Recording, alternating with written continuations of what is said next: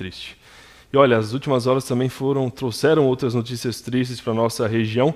O ilustre comunicador Evaldo Peixoto faleceu aos 85 anos, uma morte que afeta muita gente também. Era um comunicador, foi diretor da Rádio Clube de São João Batista e peça fundamental na fundação de várias entidades aqui da nossa região.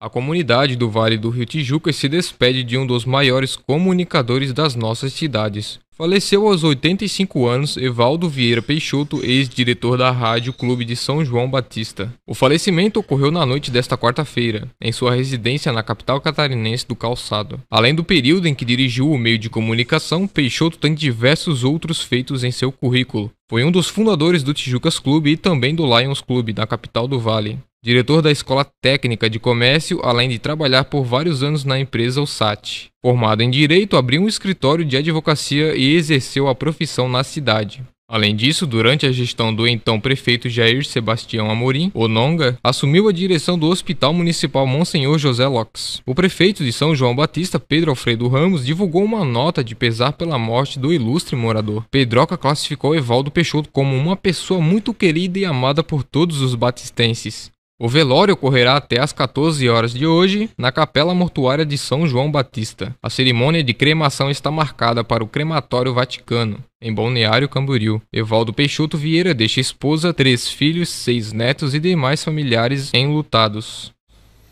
E é claro que para essas duas famílias enlutadas com essas tristes perdas, a gente manda um abraço e um beijo, desejando muita força nesse momento tão triste. A gente dá sequência